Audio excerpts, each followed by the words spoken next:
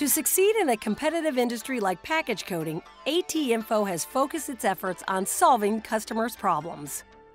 Hewlett Packard, for example, selected AT Info for its own worldwide packaging lines, including one-up retail unit boxes and master shipping cases.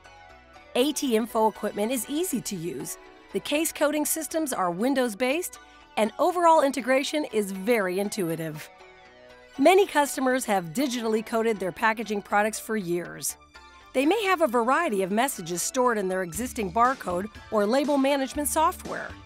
Or they may have just a few messages that get modified on a regular basis.